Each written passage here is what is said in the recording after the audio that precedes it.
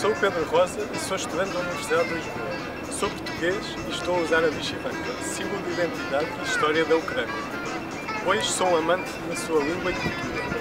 Desde sempre conheci ucranianos em Portugal e sempre gostei do seu bom temperamento e da forma como a língua soa aos meus ouvidos.